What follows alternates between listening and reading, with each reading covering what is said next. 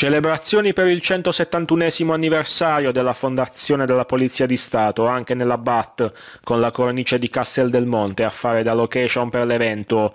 Andri ha accolto la questura, i commissariati della sesta provincia pugliese e le autorità del territorio. Che anno è stato per la Polizia?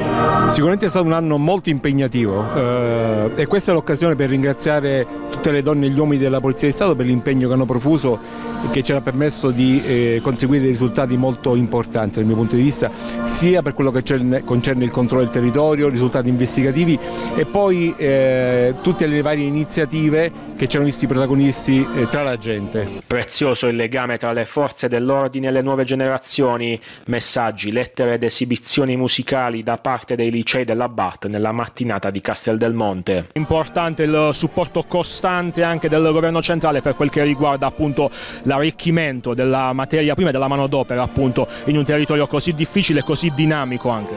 Sì, ha detto bene, c'è grande attenzione da parte del Ministero, eh, progressivamente eh, ehm, è stato inviato personale e contiamo nel giro insomma, di un tempo ragionevole di riuscire a raggiungere il pieno, il pieno organico. Eh, come diceva lei è un territorio molto impegnativo e proprio per questo c'è bisogno di eh, grande impegno da parte di tutti noi. Encomi e premiazioni infine per i poliziotti che si sono distinti nella loro operatività, commissariati al lavoro per potenziare organici e attività nei prossimi mesi. 171 anniversario dalla fondazione della Polizia di Stato, un legame importante tra la questura della BAT e il commissariato di Barletta.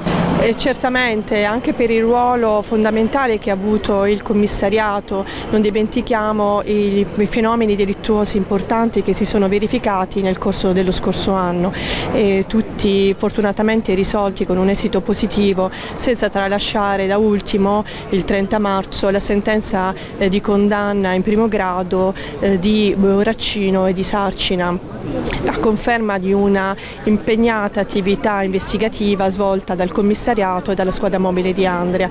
Quindi in questa cornice è importante ricordare quelli che sono i risultati dei sacrifici svolti dai componenti della Polizia di Stato.